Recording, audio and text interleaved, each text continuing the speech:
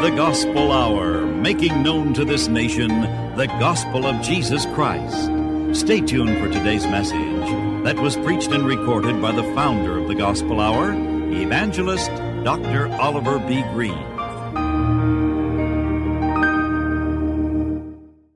And now, here with our message, Oliver B. Greene. Thank you, Father. We thank Thee that the Lord God Almighty is concerned about that poor lost sheep that has gone astray. In Jesus' name, our Father, I pray that if there is a lost one, and surely, Father, there is, there are no doubt many, but I pray that one soul, some soul, will be born again today in Jesus' precious name. Amen. We read again today the same verse I read yesterday. As I said, we could, we could stay on it a month, easily a month, if we should use all the references in the Bible concerning John 1:18. No man has seen God any time, the only begotten Son, which is in the bosom of the Father. Now notice that. You remember Jesus said many times, I say many times, several times while here upon this earth, he referred to my Father which is in heaven, and he referred to himself as being in heaven. The Son of Man which came down from heaven and so on. Now, here, notice it is in he is in the bosom, yet he is there speaking at the time. Now, you cannot separate. Now, I mean by that, I mean you cannot separate Father, Son, and Holy Ghost as having to do with God's eternal plan of the ages. God the Father in the beginning, God the Son in the beginning, God the Spirit in the beginning. Father, Son, Holy Ghost in the beginning. Now, Jesus was on earth. The Father was in heaven. He said, I'm in the Father, the Father in me. The Father was in heaven, yet he was on earth. Jesus was on earth, yet he was in heaven. You say, I can't understand that. Neither can the chemist and the scientist that have uh, put uh, men in outer space, and I'm not critical, and I'm not preaching about outer space, and I'm not preaching about the space program. But you must admit that we have giants today, mental giants, we have giants in chemistry, giants in physics, giants in mathematics, and giants in astrology. And we have many giants on earth today. But men cannot understand the great God the head, Father, Son, Holy Ghost, one God, yet manifest in three persons. But believers do not let this, that is, that man cannot understand, we do not let it bother us because the just shall live by faith. All right, so he is in the bosom of the Father, that sweet communion and that close fellowship in the bosom of the Father. Now, here's the statement we're using today. He hath declared him. He hath declared him. Now, I made this statement on the radio. You know, I've been speaking on the radio more than 26 years every day. And there's not much that I haven't said. Now, don't misunderstand me. I don't mean that I have preached all there is to be preached. I don't, I don't mean that. I don't mean that I've exhausted the Bible. If I lived another hundred years and I preached every day, I'd never touch the hem of the garment. But when I say that I've said that before on the radio, you forgive me because I remember almost everything I say on the radio. And I've been on the radio so long, and I've been preaching this gospel so long. When I repeat, I know it. But I've made this statement on the radio, and I make it again today. I'm glad that my God is bigger and wiser and more powerful than a human being. I'm glad that my God is greater than I. And that makes me have more faith in Him. And God didn't call upon me to understand the Bible. God called upon me to preach the Word, to be instant in season, out of season, reprove, rebuke, and exhort with all long suffering and doctrine. I confess, I do not deny, there are many things about the Bible that I cannot understand, but I accept them. Now I think you'll agree to the statement that I'm about to make. We cannot comprehend an eternal spirit. Now, my mind, in other words, I get dizzy in my head when I sit down sometimes alone and I study alone all the time for radio and for the books. I spend hours and hours alone. And I get dizzy when I begin thinking. Now, God, God, just think. He spoke and this world was made. You say, preacher, do you believe that? With all my heart. With all my heart. He spoke and the sun, that gigantic blazing sun, 93 million miles from this earth. And it, uh, it's there because God spoke. God just spoke and there it is. Now, when electricity was discovered, my, we thought what a, what a wonderful discovery. And when Edison discovered the, you know, the light bulb and all of that, my, isn't it marvelous? I sit here today, and if it were not for electricity, of course, I could not be operating the equipment that I'm using now to send this voice to every state in the Union, Canada, Mexico, and by shortwave around the world. I couldn't do it if it were not for electricity. And of course, I'm using a light right here. Now, I'm saying that to say this. Man labors. Just think, for instance, it's cost us 40 billion now that staggers me. Forty billion dollars to put a man on the moon. Didn't cost God anything. God just said, let there be a lesser light, and there it was. God just made it, see? Now, you, you, you cannot, and I cannot, and the finite mind cannot comprehend God. God is an eternal spirit. In John 4, Jesus told the woman at the well, God is a spirit and they that worship God must worship God in spirit and in truth. Now, I cannot comprehend an eternal spirit. There was never a time when God was not. God has always been. God had no beginning. In the beginning, God. God was before the beginning. There's never been a time in the eternity behind us when God was not. But listen, I can believe this and I can understand it. And I can understand it and believe it better today than men could a hundred years ago. With the advancement in medicine and the things that men have done, I can understand it. I can comprehend that a baby was born 1900 years ago plus, and they named him Jesus. I can comprehend that. And I can believe that because the Bible teaches it and there is so much other evidence to prove it. You say, Mr. Greene, what other evidence is there to prove that a baby was born? Well, you're listening to a voice that is the evidence. 31 years ago plus when God saved me. Now if I live until Valentine's Day, February the 14th, I'll be 51 years old. If I live until the 14th of February, I'll be 51. That's my birthday, Valentine Day. And I've said that to drive home this. 51 years old, 31 years of it, plus, has been as different from the first part of my life as daylight is different from darkness. Beloved, did you know I started using tobacco when I was five years old? That's a fact. That is an absolute fact. I would steal cigarettes from my older brothers when I was five years old and smoked them five years old. Now that's a fact. I started drinking hard liquor when I was nine. When I was 13, I was riding with a seasoned bootlegger at night, hauling liquor. Now I'm sorry. I'm sorry, beloved. I mean it. And it's very, very seldom that I ever mention these things on the radio. But during the 20th year of my life, God saved me. One night in a little country Baptist church, just a very humble little frame building, very humble little white frame church. God's man preached on the wages of sin is death and God convicted me and God drew me and I accepted Jesus. I didn't understand it. I didn't understand it, but I wanted to be saved. And when I arrived home, I fell on my knees in the bedroom by the window and I looked out the window and I said, Dear God, you're up there and I don't know how to pray and I don't know what to say and I don't know how to ask you for what I want. But I said, God, you know I want to be saved and God saved me. Now listen, up to that hour, I was living in darkness and that moment God turned on the light. No, I don't mean God put a light on in my room. Uh-uh, no. God put a light on in my heart.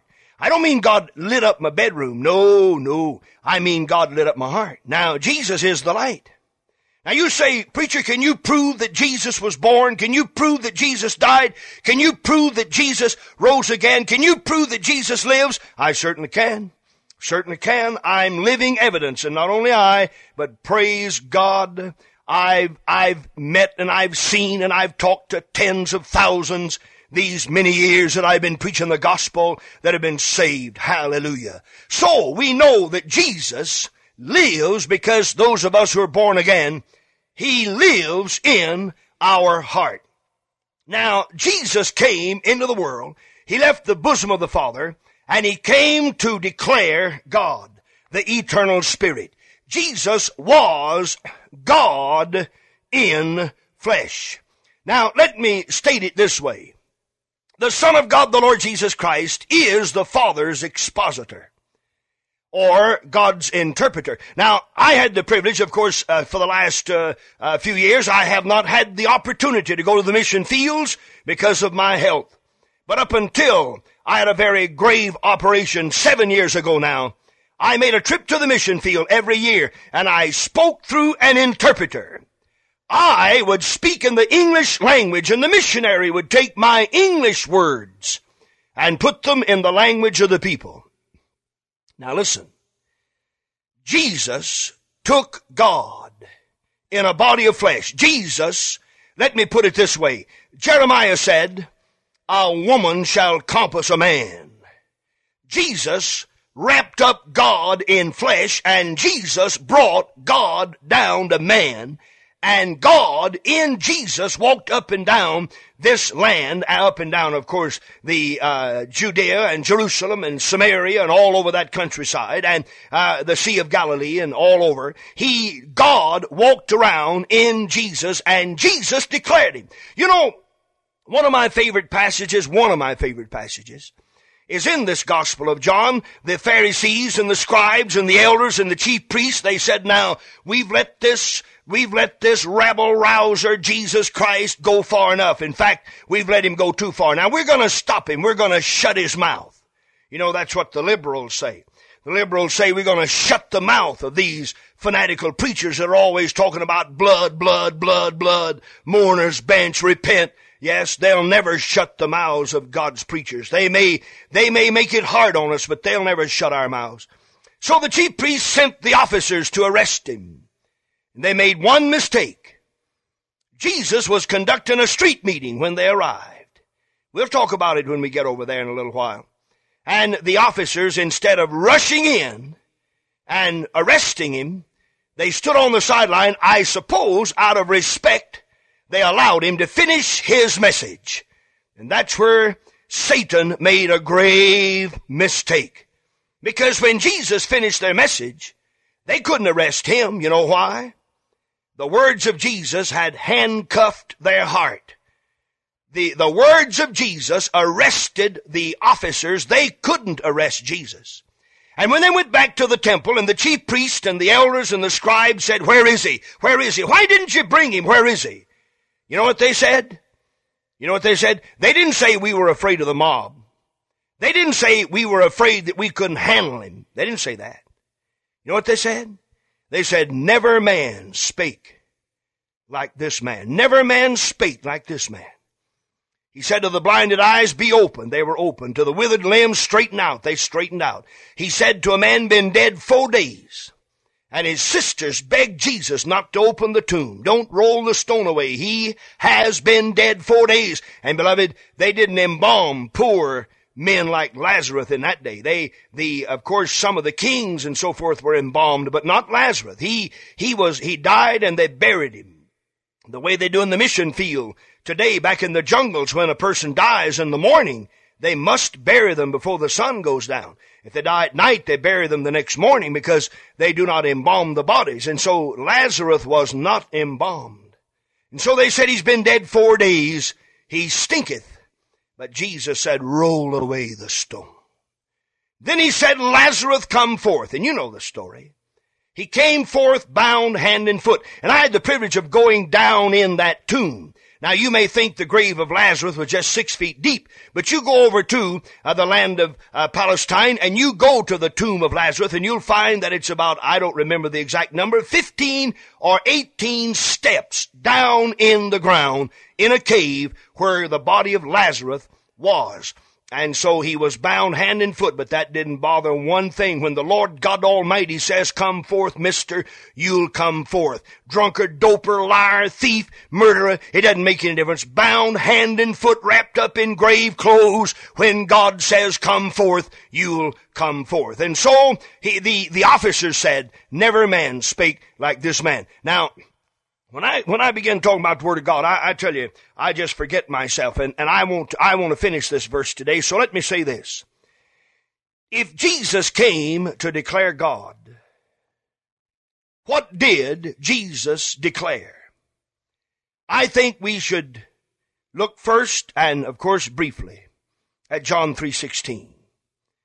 Now, you, you know the story, and we'll study it fully when we get there. Nicodemus came to Jesus, and he was a Pharisee. He was a master. He had a master's degree in religion. He was a master in Israel. He was a religious doctor. He was a religious ruler. And Jesus said, as Moses lifted up the serpent in the wilderness, even so must the Son of Man be lifted up that whosoever believeth in him should not perish, but have everlasting life. And then, for God so loved. Now, Jesus said, Nicodemus, God loved so much that he gave his only begotten son. And that was Jesus, the only begotten of the Father, full of grace and full of truth. The law came by Moses, grace and truth. Jesus Christ. Verse 17, John 1 17. Jesus Christ. Jesus is grace, Christ is truth. Jesus is the name Savior, Christ is his name of deity. For God so loved the world, he gave his only begotten Son, that whosoever believeth in him should not perish, but have eternal life. Now, remember, Nicodemus was in the day and in a religion of rituals, feast, festivals, holy days, holidays, the law, keeping the law, and the Sabbaths, and so on. And so it must have been refreshing when Jesus said, Come unto me, all ye that labor and are heavy laden. I'll give you rest. I will give you rest. He said, Nicodemus, whosoever believeth, Jew, Gentile, rich, poor, bond or free, slave, slave master, governor, president, it makes no difference. Multimillionaire, blind beggar in rags, leper, whoever, whosoever believeth in him should not perish but have eternal life. And then Jesus also declared, verse 17, for God sent not his son into the world to condemn the world, but that the world, the world, the whole wide world. You say, preacher, did Jesus die for all sinners? He certainly did. Then you say he failed. I beg your pardon. Did you know I had a letter in the mail the other day that told me that if what I preach is true, Jesus failed? No, Jesus didn't fail. Jesus died to save sinners, all sinners. God laid on Jesus the iniquity of us all, all of us. All of us. God's so loved the world. He is the propitiation for our sins, and not for ours only, but for the sins of the whole wide world. Now that's 1 John 2 2. John 3 16, whosoever. John 3 17, the world. And don't you ever let anybody tell you that you're predestined to be lost or that you're not chosen to be saved. If you'll come to Jesus, he said to his own people, you will not come to me that you might have life. He said, I would gather you. I would gather you. I would. I wanted to many times gather your children to myself as a hen gathereth her chickens under her wings, and you would not. You would not. So Jesus loved the world. Jesus died for the world. And then he declared, John 3:18, He that believeth on him is not condemned, but he that believeth not is condemned, already condemned, because he hath not believed in the name of the only begotten Son of God. Now that's what Jesus declared. He declared God's love. He declared God's love for the whole wide world, and he declared the how of salvation and the why of damnation. Now will you listen carefully? Listen carefully. Jesus left the bosom of the Father, John 1:18. He left the bosom to declare God, and the declaration that he made was, For my Father, God, so loved the world. He so loved the world that whosoever, so he declared God's love. Then he declared that Jesus, that is, God loved the whole wide world and paid the sin debt for the whole wide world. Sinner, sinner. The tragedy of tragedies is that you are a sinner and your sins remain upon you when Jesus bore them and he paid for them and he purchased your redemption and you could be redeemed this split second if you just believe on Jesus. And the tragedy is you're lost and you won't believe. You will not receive him. So he declared God's love. He declared God's love for the world and then he declared the how of salvation. He that believeth on him is not condemned. Then he declared the why of damnation. He that believeth not is condemned already. Now, if you're not saved, it's your fault. Bow your head and close your eyes and believe on the Lord Jesus Christ. And He'll save you right now, and you'll know it. Father, in the name of Jesus, the only begotten Son, full of grace and full of truth, He who came to declare the Father's love, the Father's mercy, and the way of salvation. I pray that you'll save every soul that's under conviction especially that soul that's nearest hell. In Jesus' name, amen.